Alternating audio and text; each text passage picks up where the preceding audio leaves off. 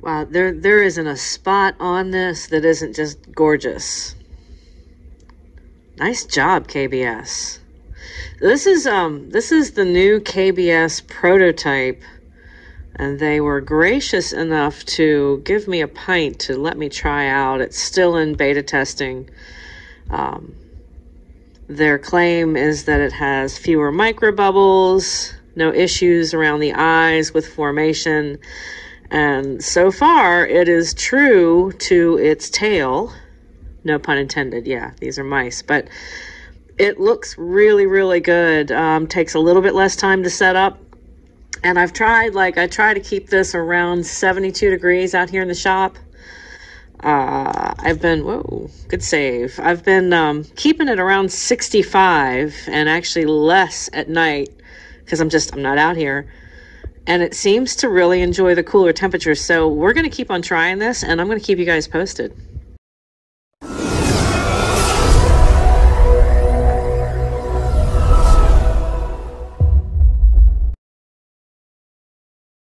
So this is a gift from Daniel. Thank you so much. I uh, got a five pack of tester lures from him, and this is one of them. This is the 90 top water. And uh, it's light. It is lightweight compared to the River to Sea. Uh, but the components seem to be in order.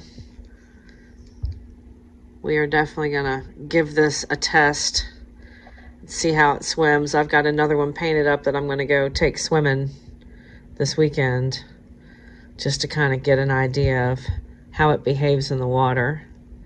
They have gotten better about making these. Um, I generally have stayed away from the river to sea KOs only because they just they didn't swim right. They didn't swim as well, but these are new. Again, super lightweight comparatively to what the river to sea puts out.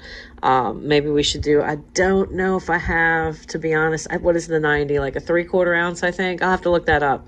Um, I have a 75 and I have a 110, but this is the 90. So I'll have to look up, see what the weight is on Tackle Warehouse, and then I'll do a comparison with what this, this little guy weighs. So I think that's probably one of the best ways to kind of break the ice on this. But this is like in a, I want to call it Crunchberry because it reminds me of Captain Crunch because it's just so wild looking. Um, but it's in a like a fur, like a mouse pattern for top water, real bright, festive. Um, I know that these patterns, Compass Angler has been crushing bass on in the spring and pretty much all through the year. If you follow Compass Angler on Instagram, you can see some of my, my River to Sea stuff that I've done for him over there. But yeah, I like the pattern. Um, the eyes, it's just a, um, it's a, it's a, just a trick. It's like a smoke and mirrors kind of a trick. So it's a drop of fluorescent red paint on a chrome eye, um, this one up here.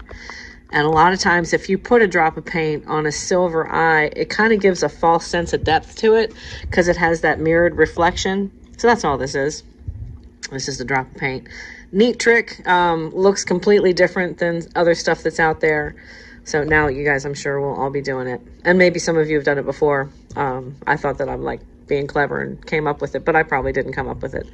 Um, but it is cool. I do like using it. But there you have it. It's a little 90 top water with a little chopper on the back. Ta-da! We've got a couple. This is the Poseidon. And I'm just goofing around with new patterns for the upcoming 2020 season. And again, all this stuff is coated with the KBS prototype the super duper diamond strength. Now it's just the new stuff that they're formulating. Um, and I got a hold of some on the house, as it were. Thank you, KBS. So we're trying that out. And I really like it. I really like it. And if it's consistent, if I get through this entire can, um, I got a pint to goof around with. So I'm going to burn up the whole can on these baits. And uh, I'll let a few of them sit around the shop and I'll, you know, put them in a box in the car, different temperatures, let them heat up during the day, let them get cool at night, and uh, just I really want to test the the crap out of that, and that's what that's what they want me to do. So that's what we're gonna do. This is the Poseidon. This has got those new uh, Jetson lure eyes on there. Man, these things are sharp, John. I love them. Absolutely love, love, love these eyes. So go check him out. He's, um, well, he's kind of hidden underneath my paper today. I got, oh man, I get post from China. I get post from overseas. And um, they did not put my address, like the numbers, the numbers from the address. They put the drive and the road and the city and the state and US and all that, but there's no. So, like, three of my packages in the last week have gone back to the post office and they were on their way back to China. And I'm like, no. So, um, hopefully, I can recover them. And I'm not sure if it's their error or mine. I usually put my address on there in full. I'm so used to doing it. Could have been my mistake um, but it has been corrected. So going through that, that's a pain butt anyways, especially around the holidays because things get delayed. And then the, there's these, and it's, this is, this is the yellow eyes, but that black dot, it's very similar to what I put on the, um, on this guy down here but it throws a shadow and it throws a really neat shadow. If you guys, I, ho I hope the camera's picking up on that. I can see it through the lens here. But it really, it's a very cool sense of depth. This is a bright yellow eye. There is no green in here whatsoever. But black and yellow sometimes give off a green shadow or give a green tint to things. I don't know if you guys have ever played around with um, dropping a couple of drops of black into a a yellow. It does do that. It tints it green. I don't know why. I don't, I'm not a physicist, scientist. I'm, I don't know. Just don't know, folks. No idea. But that's what it does. But this is spoken for. And then I did the same thing with a red. It's just something different. I like to, I like to come up with new ways to make something look fresh. So that's the whole end game here, is to be creative and original as best we can. So I almost wrapped this video up without showing you guys this stuff. I forgot that this had been clear coated long enough I could show it to you. Uh, I put it on Facebook real quick, but this is the Rasta-Craw. And these are on brand names, of course. Nice deep diver. And then I have it again in this DT10. And ta-da, it's a Rapala. There you can see it in the, there we go. That shows it pretty well, Rapala. This is the DT10.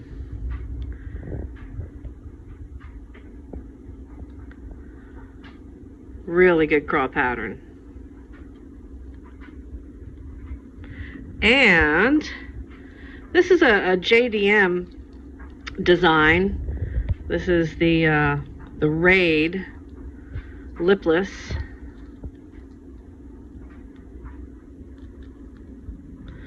And I cut some grooves out for the gills.